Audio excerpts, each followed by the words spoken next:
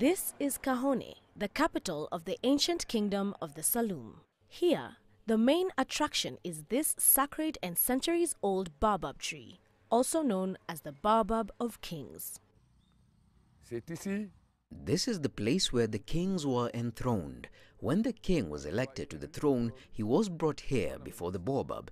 Here he was inducted by a dignitary called Besek to gauge the duration of his reign.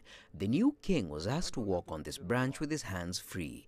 The duration he would take with the branch would demonstrate how long the king would last in this kingdom. It was a test. Alors, la durée qu'il fait sur la branche, In the ancient kingdom of Saloum, the circumcision ceremony was of major importance. It was also under this baobab that the young princes were initiated. But what attracts more attention are the branches of this tree. It was the king who decreed the year of circumcision. Then the young princes were gathered here before this mythical tree for the ceremony. It was also a training center for the young warriors of Saloum. Here they were taught how to fight and how to ride on horses. Everything would happen here in Goyendioli.